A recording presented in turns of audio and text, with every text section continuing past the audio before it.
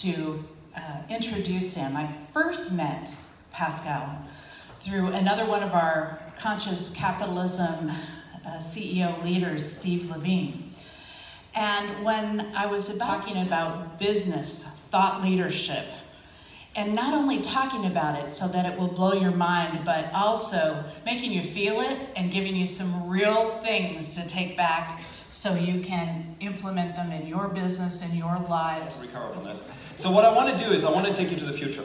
Um, I'm obsessed with the future, and I'm obsessed with technology and how technology can solve, hopefully, solve some of the world's biggest problems. I want to take you on a journey.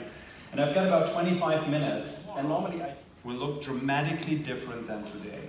And I'm not talking tomorrow five years from now, I'm talking tomorrow 24 hours later, we'll explore this in a second.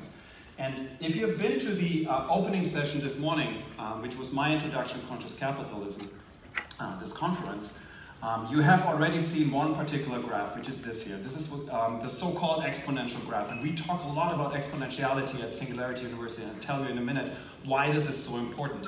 Um, keep this graph in mind. This graph uh, is your classic exponential trend. It's a doubling every time. So feel free to take a picture. All you need to do is you need to put some numbers against it, right? I'm not joking. I was, I was, a, I was a venture capitalist, and literally this is the revenue slide. Gordon Moore, co-founder of Intel 50 years ago, um, observed the past and wrote a paper and said that what he believes to be true is that we double the numbers. Computers get effectively twice as fast every two years, or they get half the price at the size, uh, same price performance ratio. To put this into a little bit of uh, perspective, computing goes currently into two interesting directions. The one is it goes very, very big, supercomputing style, huge grade, Cost 55 million US dollars, was roughly the size, a little bit smaller than this time, was used by the US military to simulate um, the uh, radioactive fallout of a World War III, as well as doing some relatively complex weather calculations. So this is 1997. Nine years later, you walk into Best Buy, you buy a Sony PlayStation 3, costs you $499, 2.1 teraflops.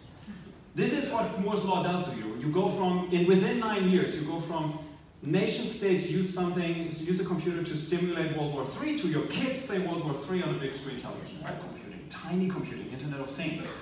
Um, this is a computer called Pi Zero, came out in 2015, cost five US dollars. This is a full-scale computer. You can put uh, a uh, latte, you get the compute power of two and a half Cray 1 supercomputers. The Cray 1 was released in 1975-ish. Each of the Cray 1s, and the Cray 1 was really the first real supercomputer we had in the world. Each of these Cray 1s had more compute power than we had total to put the man on the moon. All of NASA's compute power together is less than one of those Cray 1s. So now for the price of a venti Starbucks latte, at least in Silicon Valley, you get two and a half times the compute power we have called the law of accelerating returns, which is based on Moore's law. And it's a pretty dense paper, and I want to spare you the details. Um, if you're into it, definitely do read it. Um, but I want to show you a graph, and this is probably the most important graph. You. Per second per $1,000 of that year's time. And then he looked at actual data points, and Moore's law really is the fifth paradigm of computing. Before that, we, before we had integrated circuit, we had transistors. Before transistors, we had tubes. Before tubes, we had electromechanical computing, and then uh, mechanical computing. What you'll see is that over 110 years, this trend stays absolutely stable. More importantly, it is also incredibly smooth. The black dots are actual data points, it's a logarithmic chart. So what this tells you is that despite the fact that we had wars or we had uh, economic up and downturns, massive disruption in our, um, in our geopolitical systems, Moore's law, the exponential growth curve of Moore's law stays stable. And when you look, when you squint um, at this graph, you also see that the curve is actually peeling upwards. So this is a logarithmic graph. It should be linear if it's just normal exponential growth. So the rate of change itself is accelerating. The reason why this is important is very simple. You can use this to extrapolate the future. If we believe this graph to be true in the future, and currently there's not a single reason to not believe this, we can calculate the point in time when we have a single computer. So 12 short years from now, we will have a machine which is computationally as smart as a human being. And then it gets interesting. Remember, Moore's law says every two years we double in capacity. So two years later, we've got two human being brains computationally in one machine. Then 4, 8, 16, Until 2050, 2060, somewhere around that time point, we will have 7 billion human brains in one single machine. The world tomorrow will look dramatically different than the world today. The world tomorrow will see you having your smartphone being smarter than you are. It's really interesting because we're seeing these trends in many other industries as well. I want to peel out two industries for you where uh, we see these exponential trends dramatically changing the way you will live your lives as an individual, you will run your businesses, and how the, the geopolitical system will work. Let's talk about energy. Uh, as we're in Texas, um, let me allow you to. Well, the future of this will likely be solar for a very, very simple reason cost. So energy cost us, solar cost us in the 1970s about $80 a kilowatt hour. To give you a perspective, the cheapest form of energy we have today is coal, dirty coal. It's about 30 cents a kilowatt hour to produce. So this is way too expensive. 10 years later, the price already dropped to roughly $10 a kilowatt hour, still way out out of whack. Now here gets, where it gets interesting. 2015 in California, the price dropped for the first time to 30 cents a kilowatt hour. This is unsubsidized, no subsidies. So this is the first time we in California could produce solar energy without subsidies at the same price point as we um, burn coal, gas, or oil. The price point dropped to 3 cents a kilowatt hour. So Dubai is currently building an 800 megawatt um, powered facility where the price, the internal production price of energy is 3 cents a kilowatt hour. I'm working with a company called Energy. They were called pre previously Electrons anymore.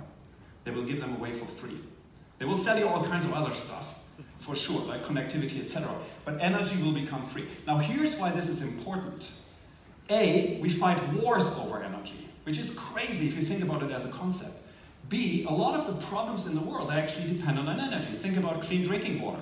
If you want to do desalination, desalination is a technology we, we have mastered for years. Problem is, it's incredibly expensive because it's incredibly energy intensive. Once I have free energy, that changes. Another interesting aspect about this is think about who are the poorest nations in the world and think about how many sunshine hours they have. Right? The world might change. Here's an interesting perspective. What you see here is work from a German PhD. The large square on the left, which is called Welt, is the theoretical size of a solar powered solar panel which we put into sub-Saharan Africa notwithstanding that you need to transport the energy, which is all it takes to power our energy consumption today for the whole world. We're living in a world where we perceive the world as a world of scarcity, where we build our business models on scarcity, whereas in reality, if we leverage technology, not everywhere, but in some areas, we can actually get to a world of abundance. Here's another example in DNA. And again, the reason why this is important and interesting is, again, price performance. So the first time we decoded a full human genome was 1999. Cost us $2.7 billion, seven years of effort. Was called the G Human Genome Project, one single genome. 2.7 billion US dollars. A nation state can do this and they can do it exactly once because it's way too expensive. Guess how much we pay for that same thing today? $18, 18 years later, it's $100. I had to update these slides recently because until two months ago it was $1,000. Now it's $100, sequencing a human genome. Now the interesting thing is when you look at these price performance costs, this is the price performance cost of sequencing genomes, which currently falls at a rate of six times the rate of um, Moore's law. The two questions I always want you to ask when you see these, these performance slides is, where will it go? And when they ask experts, they will tell you human sequencing a genome will become free, or very, very close to free, pennies. And then the second question becomes, what do you do with it? Of course, one thing you do is, we do new drug discovery, we will, um, uh, I can nearly guarantee you, anyone who's below the age of 40, surely your children will not die of cancer. There's absolutely no question in my mind.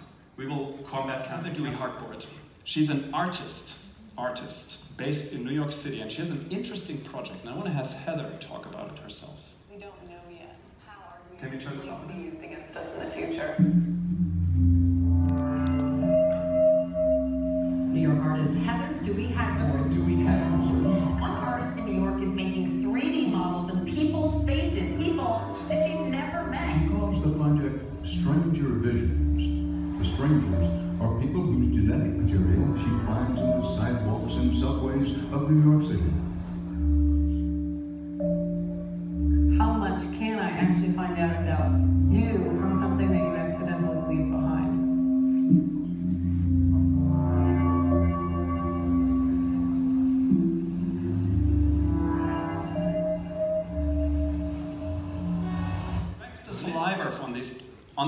is saliva, of course. She extracts the DNA out of the saliva, which is something that the FBI is doing for the last 20 years. It's a very known technique. If you watch CSI on television, you know all about that. And then she sequences this with a $100 sequencing machine and then works with a very advanced DNA testing lab to reconstruct your facial features. Because, of course, your facial features are encoded in your DNA the color of your hair, shape of your skull, the color of your eyes, etc. She puts that into a 3D model and prints these 3D masks. This is an art project. But think about what this means. Like we're moving into a world where tomorrow will look so dramatically different. The thing which scares me about this is not what Heather is doing. The thing which scares me about this is I show this to politicians all the time. Politicians have no idea. They just don't know about it. So everyone who's currently drinking, uh, let's say, a cup of coffee out of a, a paper um, plastic um, cup or a paper cup, and you throw that cup away, I can sequence your DNA. I can tell you with that DNA what your percentage chance for you is to get Alzheimer's. I can also send it off to China, who will gladly clone you. We are moving into a world which looks so dramatically different, for good and bad. So here's the challenge. Al Bartlett who taught in function, what he means with that is very, very simple. As we grow up as humans, the world around us, the observable universe, is largely linear. And it's good for us because it's, it's important for us to understand the linear universe. It has something to do with, we needed to understand when we see this, when we were on the prairie and we see the saber-toothed tiger at the end of the prairie, we needed to know if we need to run, hide, or attack. Here's a simple example and you can follow along with this. Imagine you take 30 linear steps, one step after the other. And I'm asking you, how far do you get? You know the answer, right? It's like 30 meters, 30 yards. If I were to go outside with you and say, can you point to the, to the 30 meter mark? You would know pretty uh, exactly where it is. Now, let's take 30 exponential steps. This is what technology looks like, right? It doubles every time period. So 1, 2, 4, 8, 16. Do this 30 times. You're smart people. How far do you get? To the moon. Great example. Who said this? How far is it to the moon? Miles or kilometers? Ha ha! I gotcha. Sorry. So here's the thing. When I do this with an audience, I always get, typically I always get like, uh, someone from the back always yells a mile. For some reason, the human brain goes to a thousand. I have no idea why. It's actually an interesting uh, uh, research subject. And then you've got the people in the first row, and the people in the first row are like, man, Pascal is hyping these exponentials so much, it must be more. And then someone always says to the moon, and then always ask how far it is to the moon. Well, let me unpack this. It's 25 times around planet Earth. It's a billion meters. It's from here to the moon, back from the moon, and halfway to the moon again. What this demonstrates is two important things. The first is, if you have an exponential trend, it goes to a billion instead of 30. More importantly, and this is the thing which I really want you to understand, is you can't feel it. It's not intuitive. You need to do the math on these things. And it trips us up because we live in this world where technology moves exponentially. Our thinking is linearly. And in this curve, in these two curves, there's three important points. The first one is this here. Because technology in the beginning moves really slowly, and we tend to be disappointed. Has any one of you worked or seen Google Glass? Okay, so I was at Google when we released Google Glass. I was working at Google when we did. I was wearing Google Glass for about three months. And um, you all know that you're dismissing it. The amounts of people I gave Google Glass to and said, try it out. And they took it on and it's like, this is crap. And it will be crap. But then you get to this moment when Steve Jobs gets on stage and shows you the iPhone for the first time. And suddenly the world realizes a phone isn't a phone anymore. A phone is now a mini computer. It doesn't have buttons, it has glass. And everything changes. And then we get into chaos and amazement. This is where you can't keep up with the change we're seeing in the world. The challenge is if you're staying on this path, this is your path to doom. This is Nokia, unfortunately. Nokia, make no mistake, here's the deal, right? Nokia was the iPhone. Nokia had the most prestigious, most amazing product on the market before the iPhone. If you wanted to have a cool phone, you bought a Nokia. The iPhone comes out, changes the game. Nokia is gone within three years. The biggest insight I can give you is, and it sounds so trivial, but once exponential curve, which means the biggest business opportunities for you is when you find something which you can turn from analog to digital. Silicon Valley currently goes crazy about two interesting industries. The one is healthcare, for obvious reasons, right? It's largely analog, and you can, once you turn it into a digital good, it becomes a whole different game. The second one is, and this is pretty uh, um, probably not quite as well known, is agricultural technology, ag tech. Trillion dollar industry, largely analog. Once you turn that into a digital business, it turns into an exponential. What you have to do is, in this world, you really have to think in 10x and not 10%. Our brain goes to 10% because that's how we were educated, this is how our world works, this is what you're teaching you in business school today. But what you have to do is you need to get to 10x thinking. Because here's the deal, when you do 10x, you actually still think inside of a box. This whole baloney, like think outside of the box. I'm like, I don't even got a box. I can play in this bigger box. My bigger box is 10x. And here's why I think this is really important. I can geek out about technology all day long and like you can let me be here on stage for the rest of this conference and I would love to talk about this stuff, but it really doesn't matter. What matters is the big picture. What matters is that we are living on a planet where still like, what, three billion people live on less than two and a half dollars a day, two and a half billion people don't have access to proper um, sanitation, making diarrhea one of the number one killers. There's 800 million people who don't have access to clean drinking water, 757 million people who can't read or write. And despite the fact that all the, the indicators go in the right direction, I think we have our work cut out for us. Albert Einstein once said, we shall require a substantial amount um, of thinking if mankind is to survive. I read this quote about 25 years ago, and it made me not sleep for a week. Because I was thinking, well, if Einstein says this, there might be something really important here. And the thing which tripped me up was survival, okay? What I think we need to do is we need to think and act big. And I want to introduce you to an interesting uh, case, if you want to say so. This is, she runs a company called Nexleaf. What Nexleaf tackles is the following problem. About 25% of vaccines in the developing countries spoil because of a break in the cold chain. They get too warm or too cold, and the vaccine becomes ineffective or even uh, dangerous to administer. Problem is, you typically don't know. So the, the nurse in the field doesn't know. Chinese manufactured cell phone, um, about 25 cents of custom-made electronics and a temperature sensor. You bolt this to the fridge, it travels with the fridge, and now does a couple of interesting things. It tells the nurse via text message in the field if the cold chain was compromised, because the thing stays with the fridge. Secondly, because you get connectivity and GPS for free, because it's part of that phone. It sends the data to the health authorities and tells the health authorities if, uh, if and where these breaks happen. Because they typically happen at the same places. It's like, you know, one port where they forget to plug them in, or it's one person who cranks them up too high. So here's the deal what happened with Nithya. When I met Nithya, she had a prototype of this, and I was at Google, uh, back in the day I was at google.org, and we wrote her a million dollar check and said, go, do this, change the world. Since then, Nithya has collected a little bit more money, and within three years, she's now in six African countries and all of India. And in every single one of those countries, the problem has gone. It doesn't exist anymore. And the sole reason why I'm telling you this, well, two reasons. The one is I want you all to work with Nithya and like give her money and work with her commercially. Um, the second reason, and this is the real reason why I'm telling you this, is everybody can do this. This is not hard. I think once we like, change our minds and like really figure out like what is what are the problems we want to solve in the world, we can do this. Even if you can't program, you know, God knows I can't program this thing, you know someone who can. This is not rocket science. I traveled pretty extensively through um, Ethiopia and in a very remote village in Ethiopia, I took this picture of this little girl.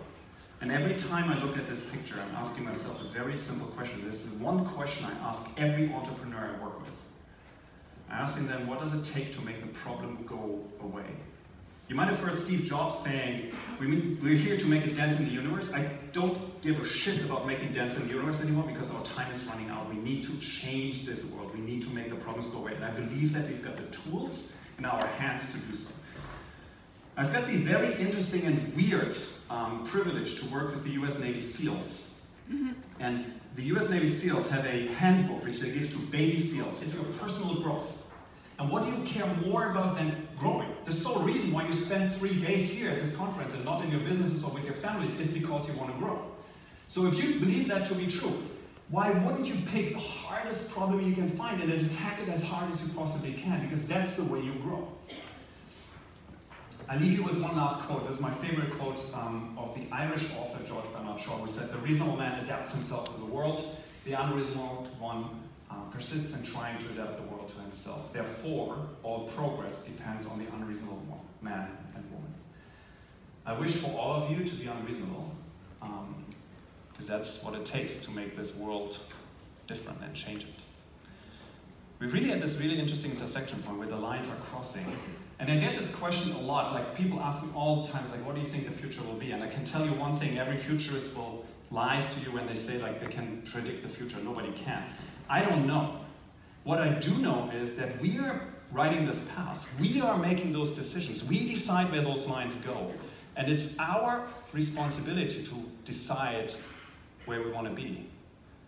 Because if we're not making those choices, we're not making those, those, those hard decisions, we will just become a passive player in a, in a stream of the future. Um, you can all do me one favor, and I give you a gift. All my slides, there's an extended version of this talk, on this website. All my slides are there, you can just download them. There's a video version of it. Spread this with everyone you know and you think should know about this because I believe, fundamentally believe, that the future will look so dramatically different tomorrow than it does today, and we're not yet well prepared for it. And it's an incredible opportunity, don't get me wrong. Uh, I semi joke, so you might have picked up I'm not native uh, US uh, citizen, I'm uh, German. And I uh, tell people always that I got kicked out of Germany because I'm too optimistic. so I believe that there's an incredible amount of opportunity ahead of us, and clearly some, some, some dangers which we need to overcome. Um, with that, um, I wish you uh, a fantastic rest of the conference. I will be with you for the whole rest of the conference. Thank you so much.